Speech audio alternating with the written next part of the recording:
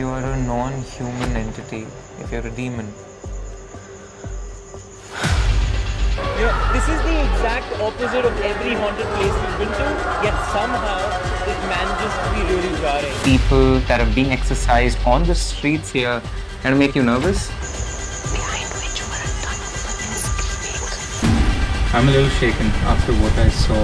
Um, people convulsing, shaking, um, screaming at themselves.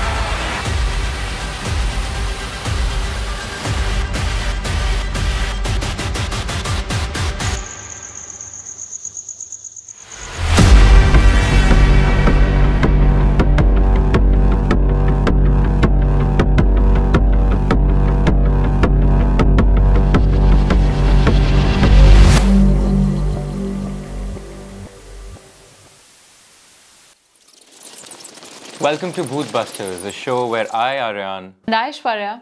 venture into some of India's most haunted locations to find evidence for ghosts or bust the bhoot once and for all. This week we head to India's only exorcism temple where possessed people from around the country, no matter their class, caste or religion, come to get ghosts removed from themselves. Thousands, if not millions of evil spirits that have been removed through exorcisms linger under one roof.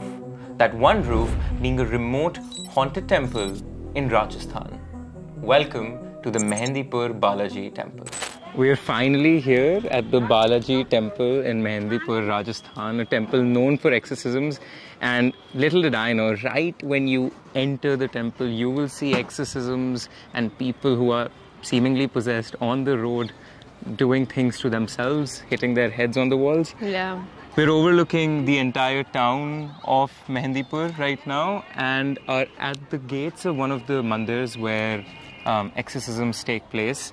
Aishwarya, are you excited to be here? I'm excited. I'm a little bit taken aback from everything I saw down there. It's a little bit of a sensory overload in what is supposed to be a holy, calm space, but it's not necessarily like that. Yeah. I'm excited to see what's going on. It's a little bit jarring, a little bit sad to see people in that condition. There's also a lot of people just here to pray. Yeah. Uh, and just here to be themselves and ask the Lord for their for their dreams and hopes and wishes. So I'm excited to see all of it and take it all in and be sensory overloaded. All right then, let's, Let's go check it out. Yeah. Balaji मंदिर में सभी जगह के all of India की, सभी जगह means पूरे India से ही सभी यात्री अपने अपने जो दुख, दर्द हैं या कोई भी संकट की प्रॉब्लम है, संकट मीन्स जो प्रेत आत्माएँ हैं, जो लोगों को परेशान करती हैं, जो भटकी हुई हैं, उनका यहाँ एक तरीके से समाधान होता है। उनको शांति मिलती है, उनको बाबा जगह देते हैं। ये मंदिर संकट मोचन है। बालाजी महाराज जो है संकट मोचन है बाल रूप में हैं और सभी संकटों का समाधान करते हैं Unlike other haunted locations we have visited, Balaji Temple in Rajasthan is far from desolate. Every year, hundreds of thousands of pilgrims from all over India flock to this temple dedicated to Hanuman, a Hindu deity who had taken the form of a monkey. Hanuman is worshipped all over India, but why do hundreds of thousands of people flock to this particular temple on the remote western flank of the country? The answer isn't as simple as worship. It's not as holy as a prayer. Hanuman, among many things, is worshipped for relief from evil spirits. Not only that, at this temple, another deity is worshipped, Pretraj, also known as the king of ghosts. Within the walls of the Balaji temple are people chained to the walls, people flogging themselves, and people dancing in ecstasy and agony, all in an attempt to rid themselves of demons. Literal demons. People report experiencing a change in atmosphere as their car approaches the temple. The malevolent beings are palpable in the air around Balaji. This temple is one of the only in India where exorcisms are conducted en masse. But it wasn't always like this. You know, choosing this as our final location to go to, there was a certain amount of self-interest involved, right? Alright. Like any ghosts we pick up on the way, We can of rid ourselves of Malcha, them, yeah. If, if there's any spirit, you know, if mm-hmm. Begum Vilayat is haunting us, or if mm-hmm. Tantrik Singhya is, you know, didn't like my jokes about him, Balaji is where we make sure they don't take us the fact of the matter is, I as a person am probably as scared of ghosts as I am with the idea of ever getting an exorcism. Hmm. So that'll be interesting if I am indeed possessed. Yeah. We're in for It's just an insurance policy. I'm fine with that. Yeah.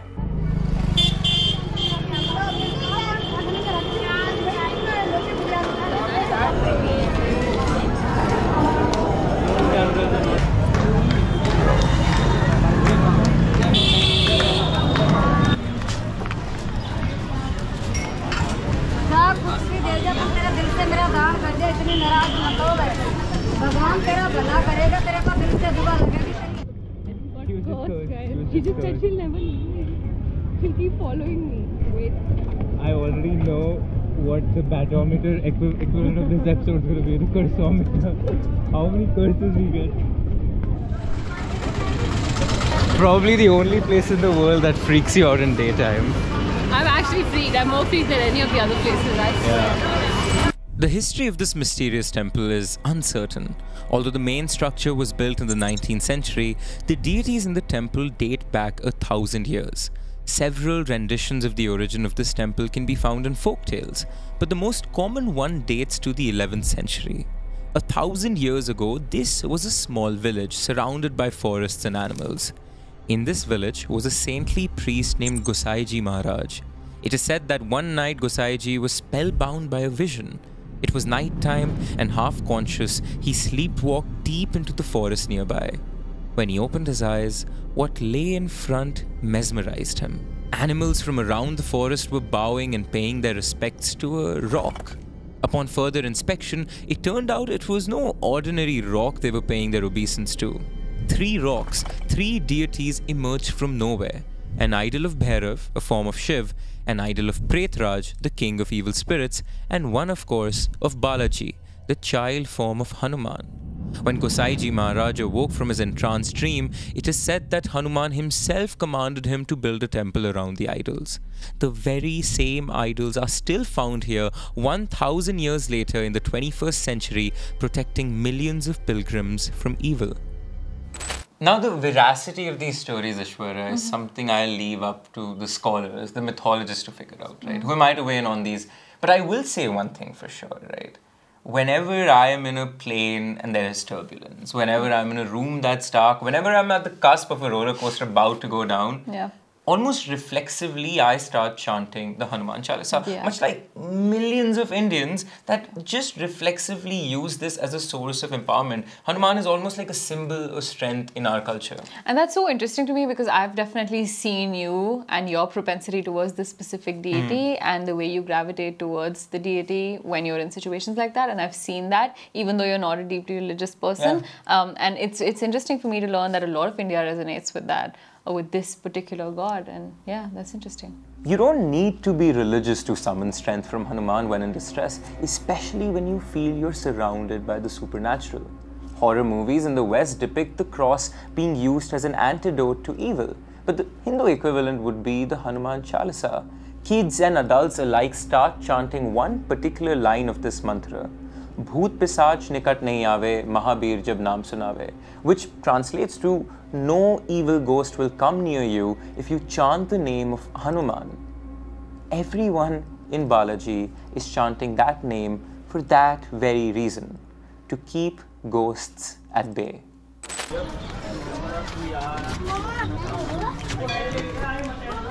Just crevices everywhere. काली माता का है प्रसाद लगा लो भैया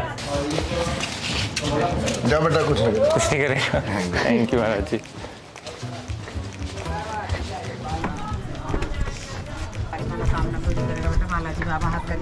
As the great Po from Kung Fu Panda says, stairs are your worst enemy. I do feel like I'm in a Kung Fu Panda Yeah. rendition of The some crew sort. is really getting a good cardio exercise. of Not good that I do feel like a panda. Of all animals in that movie. Oh, But it's not a coincidence that we summon Hanuman when in flight or fright. The deity is intrinsically linked with fending off evil spirits in Hindu mythology. In fact, it is said that a millennia ago, Pretraj, the same king of ghosts, used to torment the local villagers near the erstwhile town of Balaji Temple.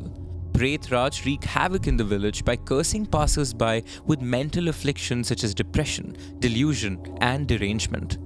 Ultimately, it was Hanuman who defeated the king of demons in this region of Dausa.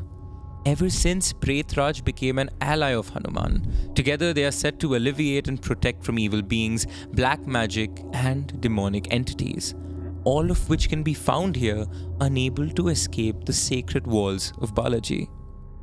Right here, we've stumbled across um, what look like tombstones to um, doofuses like us, but turns out when you read carefully, there are pitrasthans, which are different from tombstones. Like in Hinduism, these are more tributes to ancestors okay. and a way of safeguarding their interests in the afterlife. So these are dedicated to people that once lived. Yeah, the, the, the ancestors, yeah. Oh, I got you. Hmm, very interesting. Yeah, they they line up the entire walkway up to this temple that we're headed to. They're all over. So Yeah. I thought they were tombstones, but apparently not. Uh, let's keep going. Of the many stories of possessions related to Balaji, one is of my relative. One of my family friends has a daughter who was very close to us. She was like any other high school student in India, written with exams and homework in your regular school life. Until one fine day, it all changed forever. She began losing interest in academics, adamantly refusing to study. She felt repulsed going even close to her study, only to vomit and begin hitting her loved ones if they tried to force her. She lost weight rapidly, becoming a shell of the once vibrant girl we knew her to be. The family tried allopathic medications and took her to a doctor. Nothing seemed to work. The scariest part was she began speaking in a deep, gurgling baritone, evidently of a man's. Even though this was a Muslim family, they resolved to take her to the Balaji temple to get their daughter some help. There, the exorcist spoke to the malevolent male spirit harboring her body, revealing that he had entered her body from a cremation ground near her house. He wanted to get back to his old life and felt limited in the girl's body. After performing the rituals, the priest claimed that the ghost of the man left her body. His spirit was now trapped in Balaji, like many other spirits that await salvation. Okay, so it didn't cross my mind that when a spirit is exorcised in Balaji, it then gets trapped in Balaji. Yeah. So doesn't that kind of create a cycle of those who go to Balaji to get exorcised, then catch a spirit from Balaji and leave? Which is why going to Balaji, you have to follow many norms, many That's rules that I'll get to because there's a very good chance you catch a ghost. But I, I will say this, you know, this family that I told you Mm-hmm. about, they were a educated, rich family, unlike the stereotypical family you'd think if I'm telling you about an exorcism, like somebody from rural India. Yeah. You know, there was a study done by psychologists on visitors to Balaji, the study out of 1981, that shared that 80% of all visitors from Balaji are from urban backgrounds. Oh, wow. 80% of them are educated, and 82% of them have tried allopathic or like actual medication before visiting Balaji. So it kind of flips the table, and you go, maybe this works? Or is Somehow, there yeah. something to it? Is there something to the trance like state that these people get induced into? That's very interesting. After the treacherous climb up the hill, we finally reached the remotest temple at the top where Locust told us exorcisms take place. At first, we didn't believe, but then we saw it. Our first ever exorcism.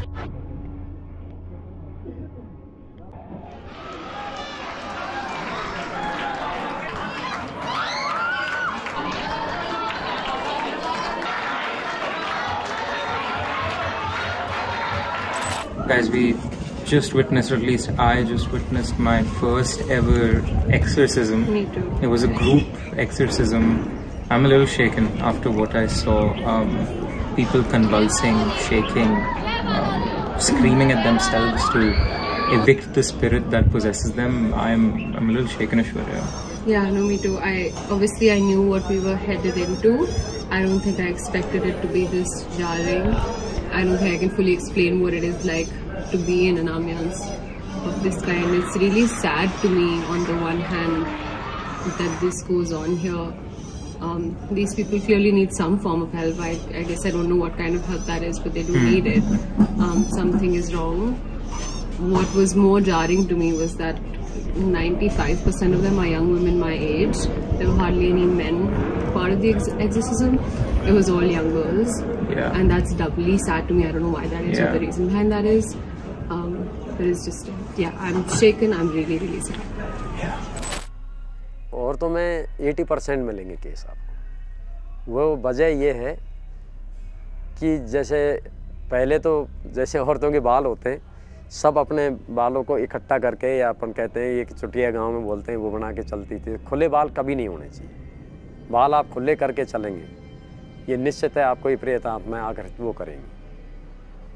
एक कभी perfume लगा के किसी चौराहे पे जाते हैं या इनका टाइम होता है जैसे बारह बजे बाद या दोपहर बाद में इनका एक टाइमिंग होता है उस हिसाब से। या प्रेतों का। हाँ उस हिसाब से तो ये क्या है कि लेडीज़ ने एक अपने जो पहनावा है या कई चीज़ें हैं जैसे मैंने खुद ने देखा है एक अनामिका करके लखनऊ से एक लड़की आई थी। उनसे मैंने पूछा कि आप को आप इनको क्यों परेशान कर रहे हैं? इस लड़के ने क्या बिगाड़ा है? आपने जो इनको आप परेशान कर रहे हैं। बोले, ये लड़की जब ड्यूटी करके आ रही थी तो परफ्यूम लगा रखा था। जो परफ्यूम है, बहुत अच्छा लगा और फिर मेरे को बाल बिखरे हुए थे तो इतनी सुंदर लग रही थी कि मैंने सोचा कि इन्हीं के साथ रहें। तो फिर मैंने इसके अंदर प्रवेश किया। प्रवेश करने के बाद में मेरे को सब कुछ अच्छा न लगे लग लिया इसलिए मैं इनको नहीं छोड़ना चाहती।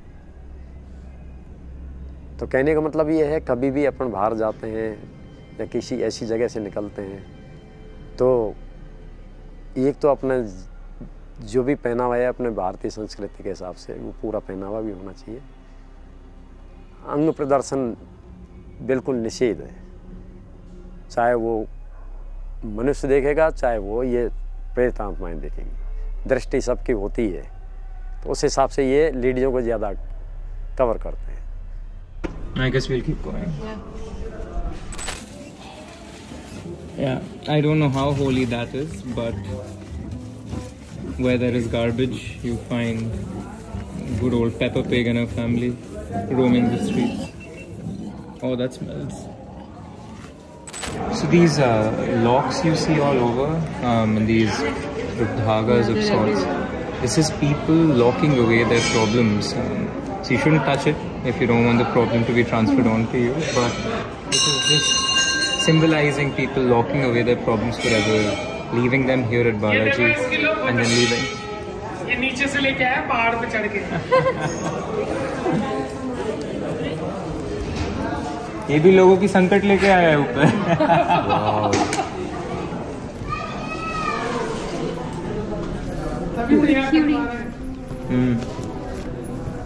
priest in charge of exorcisms then blessed me and Aishwarya so we are protected by the good forces of this temple. Aishwarya, what was that experience like? It was nothing like I have ever experienced before. I think the best phrase to describe it is an emotional roller coaster. Yeah, yeah. Um, I didn't think, I don't know, we're so busy in our bubbles, in our cities, and you know, in our bigger countries and whatnot. I think we forget that that parts of this country this is going on, our parts of the world this is going on. It's just it feels like a different world to be in. And I, I don't think it was just an emotional roller coaster for us, but also the people that were partaking Oh in yeah, that absolutely. activity. More so for them. And the thing is, the pundits and the locals, they seem completely impervious to it. They aren't affected. They have a smile on their face as these Yeah. uh, processions are going on. And, you know, as, an, as a passerby, as an outsider, it's so bewildering. Um, but yeah, the night has, or the day has just begun, and um, more of this to watch. So Yeah. uh, I think we keep going and trying to figure out what this puzzle of Balaji really is. Yeah, let's do it.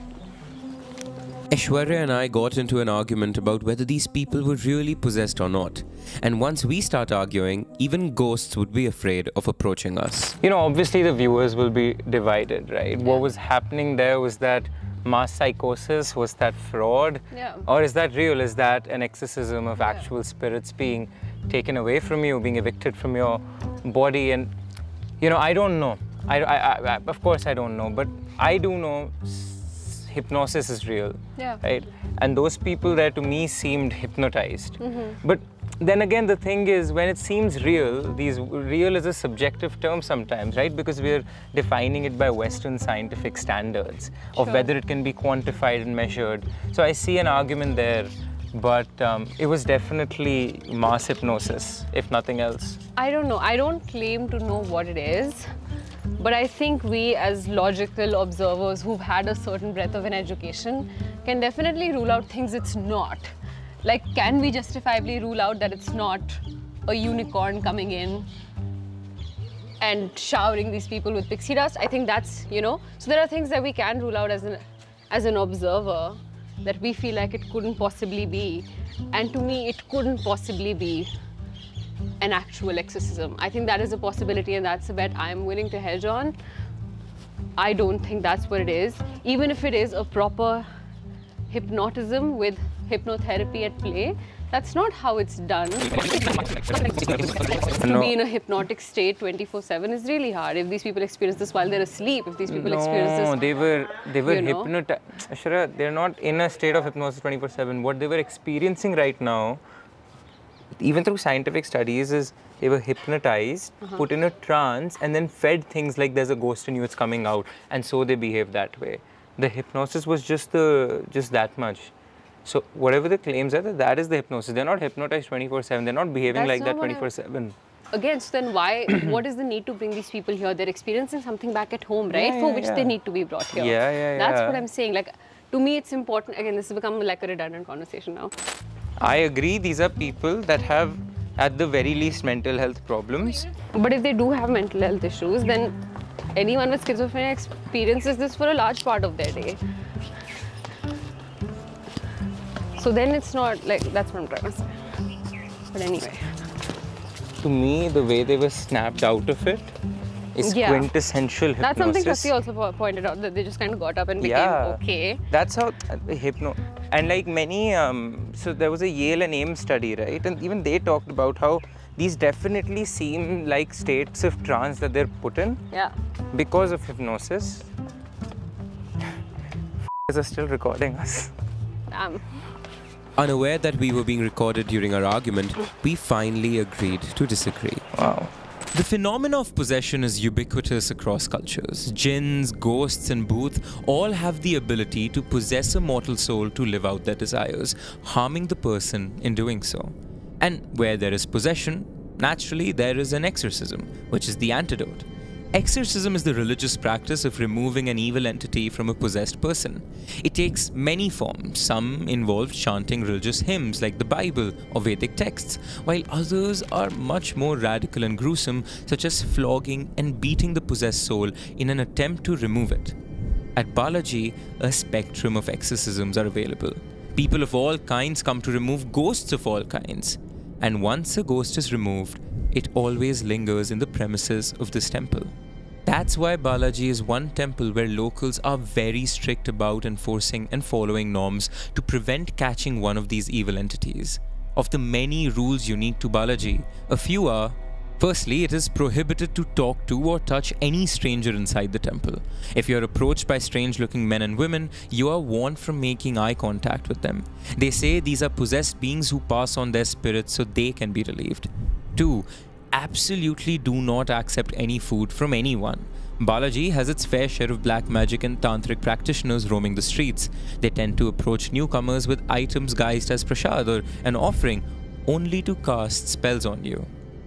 Forget taking food from strangers, you can't even take food from your loved ones or the priests. Eating or drinking within the premises of the temple is strictly prohibited. Any prasad given by the priest mustn't be consumed either. It should be disposed of prior to leaving the temple. Now, all these rules are fine, but it's the final Fine. it's the final rule that scares the living daylights out of me. Okay. It's that because the spirits continue to linger in Balaji, when you leave the temple after having worshipped the god, you cannot look back. You must, you know, fix your gaze to the exit, keep walking, and never look back, lest you want some spirit to catch you right as you're about to leave. That's terrifying. Yeah. I'm terrified. But I guess here's to never looking back. He's never looking back. Alright, don't know if you guys can hear the sound of the bells going off. So the main aarti is beginning in the main temple, the Balaji temple right now at 6.30 p.m. in the evening and we're heading there just as we speak. On our way to the main Aarti, we found a small temple where exorcisms were taking place. We had to see for ourselves what was the source of these howling noises.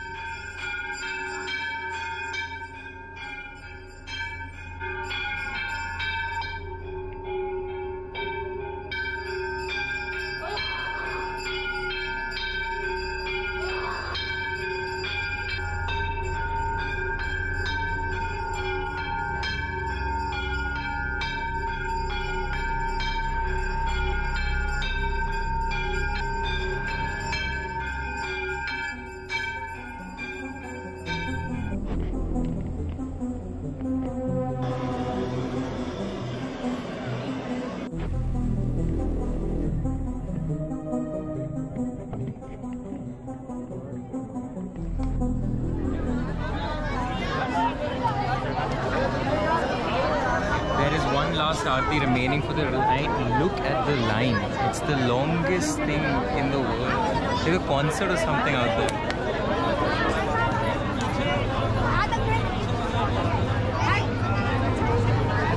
Guys, the Aarti has begun and this is unlike any Aarti I've ever experienced. Ever seen before, yeah. You can hear people screaming, screeching, banging their heads. Um, and as Aishwarya noted, it's mostly women. Mostly all women. There's hardly any men. You guys will see some footage now.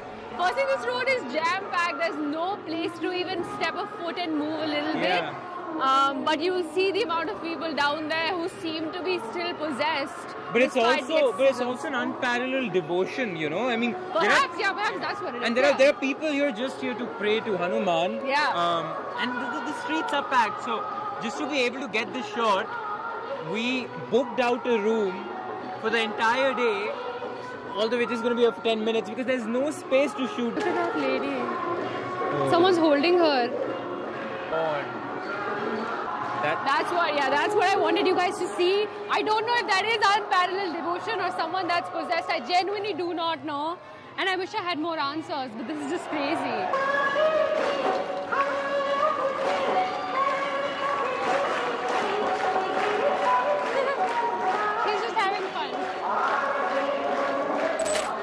I've been to Varanasi, I've, I've been to so many cities across India. So I am spiritual, but this is a level, this is a this is a flavor of spirituality that I've never experienced. And it is unnerving. You know, this is the exact opposite of every haunted place we've been to, yet somehow it manages to be really jarring. It manages to be more jarring than any of the other places we've been to, for sure. Look at him. Look at him. Look, Holy look at the monkey. Look at the that monkey. Get the monkey. So my mom's really religious and I think she would love to get a chance to see this aarti. Except she seems to be busy right now. Does this make you believe in ghosts less or more? Yes.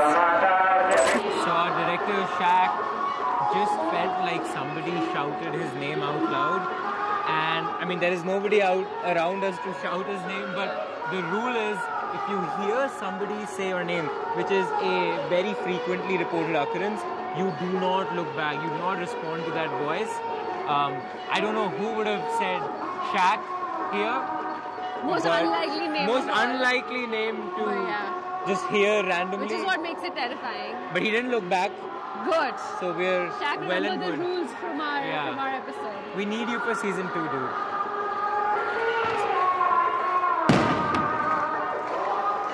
I, I think it's just it's suffering at the end of the day, whether it is psychosomatic, whether it is mental health, whether it is a disease, whether it's a ghost, it's still suffering, right? And you, you'd want it to be alleviated one way or the other.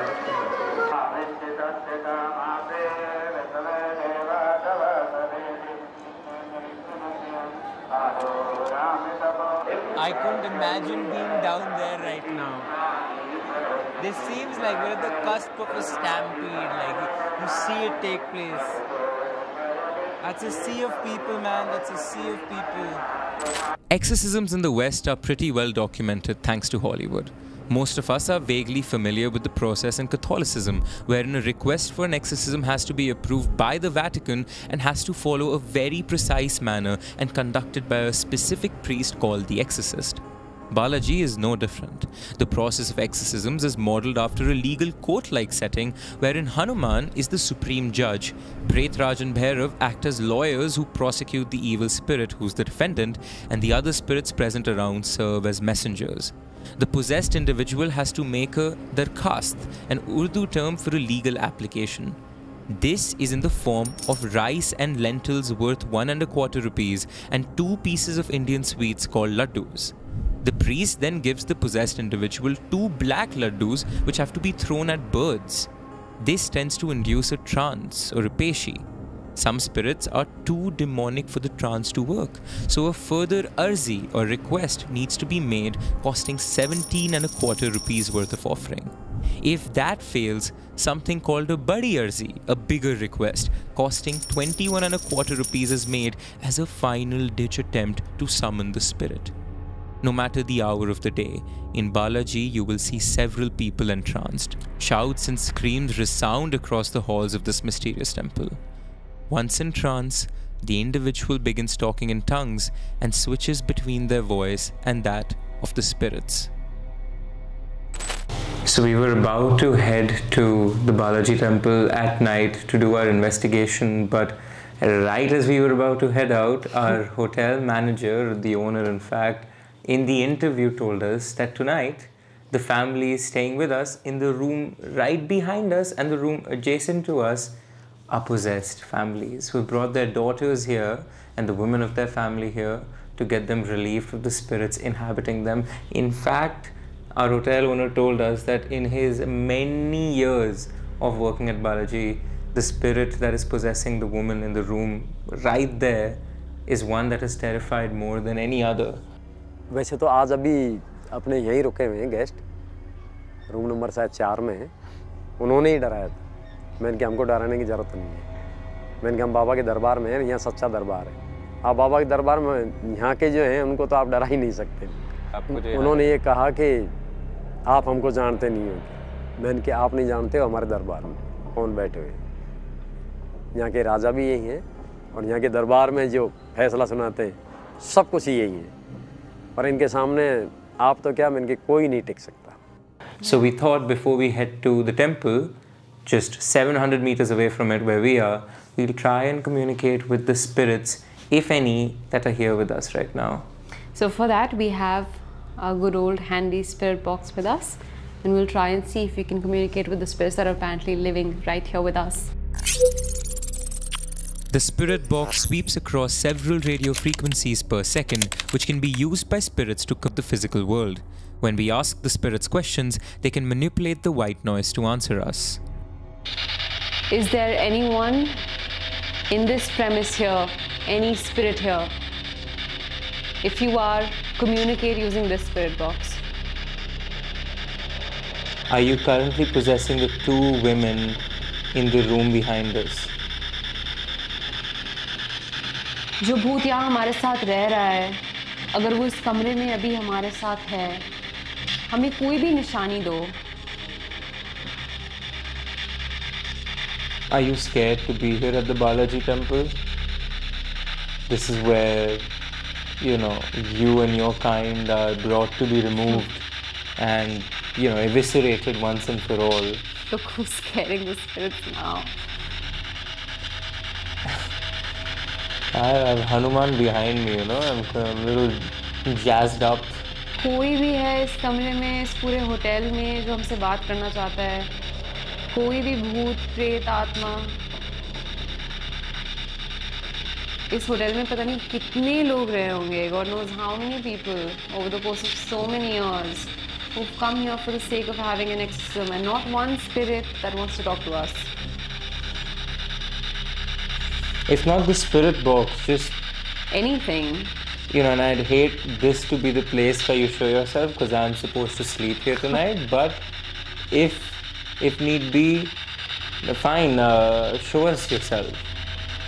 Make a sound. Right at that window. Just pass by you don't need to quick don't like every horror I can't. movie. I won't be able to sleep right now. Make some noise. Come on. For the Desi boys in this house, come on. Nope. All right. I don't think there's anything here, guys. Nothing that wants to talk to us, at least. All right. Uh, let's see if something wants to talk to us at the temple premises. When we went to the temple at night, there were lots of women crying and convulsing in front of the gates. But when we observed them, we could hear their high pitched, shrill voices change into manly grunts.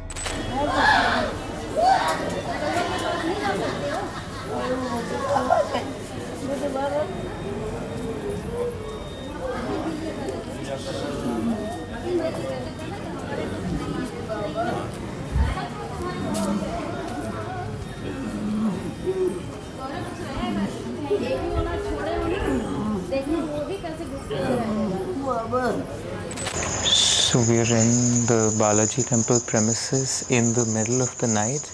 Um, there's nobody around, uh, and it's the exact opposite of what we saw in the day when it was just packed with people. I am really, really unnerved right now. The only thing is that makes all of this so much more terrifying is that right on the main street there are still the people who were possessed. So everyone else is gone. Just the people who were possessed are still out on the street, still hoping to be cured, still hoping to be exorcised. So walking down that street in the middle of the night is terrifying. It's terrifying. So scary. And we'll now try to speak to the spirits, if any, here at Balaji. I am frankly really nervous for this bit of the investigation. Um, but let's see if we can, you know, use the mag light to speak to people. The maglite is a torch that can be manipulated to turn on and off without physical contact and used to communicate with the paranormal world. Spirits can answer questions by coming close to the light and switching it on or off. If there's any spirit here with us right now, turn on the mag light. Any of the spirits that were exorcised at any given point in time in the history of this temple, if you're here, holy crap. Um, if you have It's just a cat. more animals than spirits everywhere, um, turn off that light if you're finally free.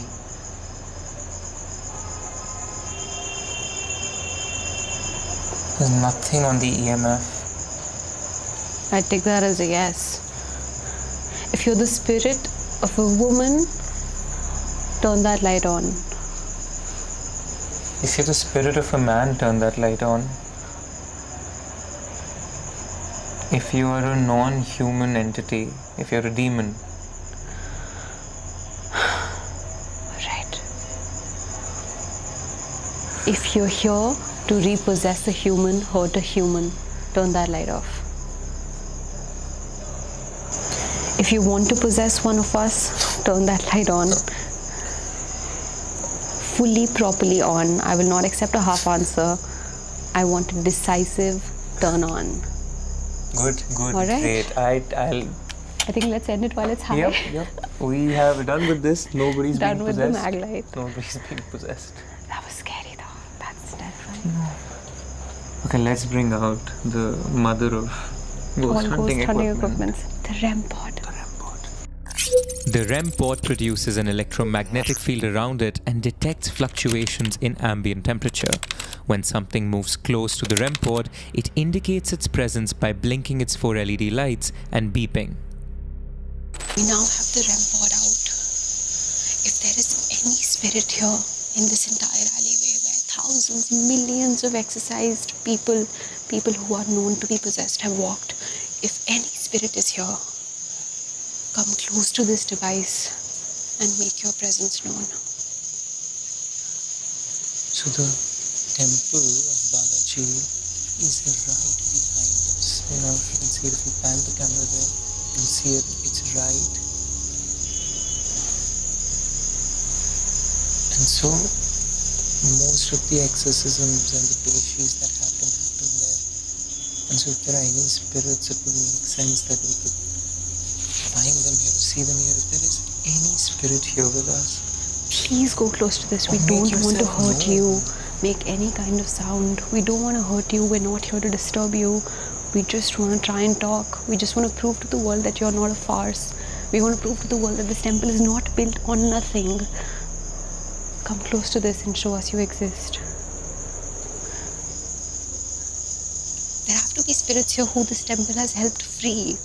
So if those spirits want to clear the name, come here. Show the world you exist. Give us any kind of sign. अगर यहाँ कोई भूत प्रेत हमारे साथ है क्या वो हमारे सामने आ सकते हैं If there any ghosts here with us, can you come front of us, make yourself known somehow, anyhow?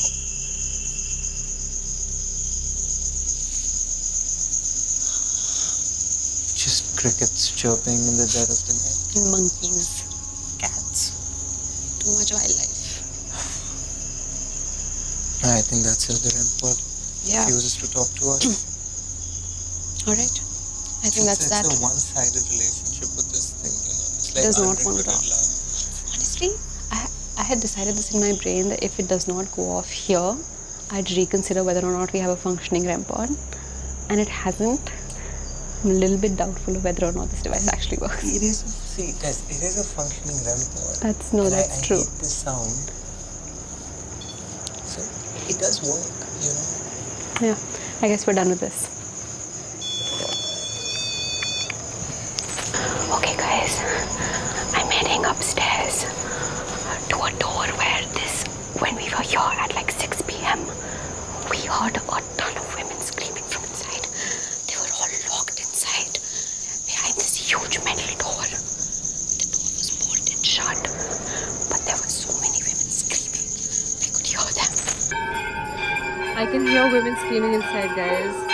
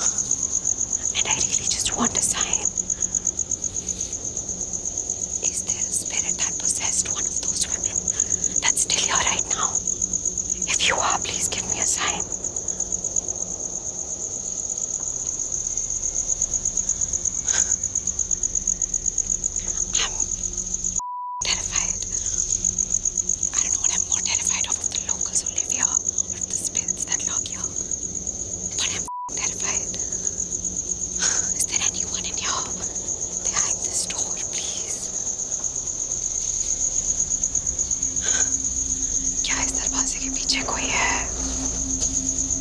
whispering, but I can't be any louder than this.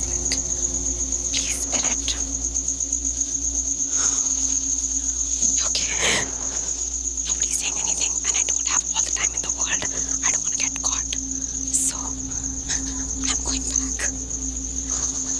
And with that, we are at an end to our investigation here at Balaji Mandir Finally. in Mehendipur, Rajasthan. Uh, what a roller coaster this episode has been, but what a roller coaster this season has been. For sure. Um, this place, though, this temple, it's, it's really unsettled me. Um, the things we saw, uh, I, I might have seen in horror movies, right? Th- This is what nightmares are, this is what horror movies are truly made of. And um, yeah, I think I'll need a little time to settle back into normal life. All and, of us, yeah. Um, truly just compute and analyze what I just witnessed here today. Yeah. No, I agree. I think there's a certain heaviness that I can feel that isn't fully explicable, and I think we all feel it. A kind of heaviness that only comes with a really probably traumatic personal experience you've had in your life, but none of us have had that. We just have that heaviness without the experience. But uh, it's a good thing that, according to the locals, if you do feel that heaviness at all, this is the place to be, and this place is nothing but positive energies, according to them. So I'm glad, like Aryaan said, that we're ending this episode here for all of our sakes. But Aryaan, with that, we must answer the perennial question from across this season, which is, and this time let's go with a cursometer. So on a scale of one curses to ten, where would you rate this location? I think, uh, given how jarring this place was, Yeah. and um, the things we saw, The fact that I was actually cursed. she was yeah. actually cursed for not giving 20 rupees, uh, which is a pretty sort of, you know, not the best reason to curse somebody. No. I would give it an 8, an 8 on the cursometer scale. That's tough to pronounce. It's a good Uh, number, yeah. And um, yeah, I think 9 and 10 uh, ratings are reserved for a special special designation. Yeah, no, I agree. For me, a 9 and 10 would be a location where I am for sure that I, with my own eyes, have seen something that can be nothing but a paranormal presence. And while this place was jarring and scary and everything in between, I don't think I'm 100% convinced that this had paranormal presence here. But here's to hoping Here's season 2 hoping. of Bhootbusters Absolutely. will have places that are rated 9 and 10. I can't wait, but also I can.